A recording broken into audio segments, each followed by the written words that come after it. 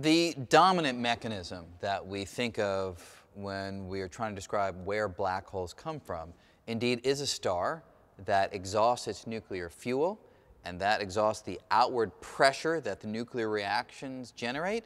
And without that outward pressure, the star collapses in on its own weight and that collapse ultimately brings it down to a fantastically small size, which is what ultimately would create a black hole.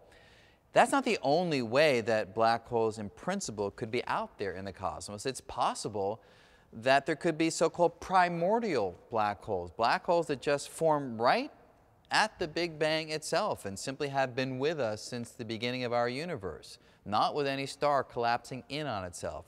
This is a real possibility. There isn't any direct evidence for these objects today. So most of the black holes that we understand at the center of various galaxies, we think arose from stars collapsing, but it's not the only way that they could be out there in the universe.